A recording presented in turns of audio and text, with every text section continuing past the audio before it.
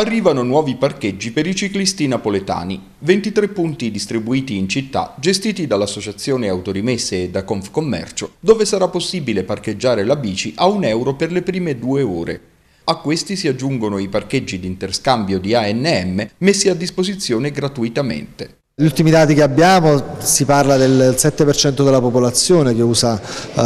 la bici nella nostra città in una situazione ancora uh, che ha molto da, da, migliorare, diciamo. Siamo fortemente convinti che questa è una misura che serva diciamo, a sviluppare una mobilità sostenibile. Noi per il momento offriamo la possibilità, cioè stiamo lavorando da oggi uh, per offrire questa possibilità di parcheggiare in quattro quattro parcheggi di interscambio gestiti da NM, eh, sicuramente due in struttura di Brinne e Colle Minei, per gli altri stiamo effettuando dei sopralluoghi per vedere qual è la, la fattibilità e la, le posizioni più opportune. I parcheggi saranno facilmente localizzabili con Cycle Stop, un'applicazione gratuita per i telefoni cellulari che segnalerà i punti di sosta più vicini, ma anche le attività e i servizi per i ciclisti, le fontanelle pubbliche e darà la possibilità di lanciare un SOS in caso di guasto alla bici ci aiuta a sapere quali sono le postazioni in cui la possiamo lasciare,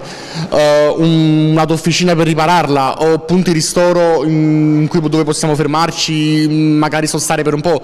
Ci aiuta a mandare una, una richiesta di SOS nel caso uh, la nostra bicicletta sia rotta, danneggiata, mandarla sia a altre persone che sono in giro, altri ciclisti o addirittura alle officine uh, equipaggiate ovviamente con il nostro sistema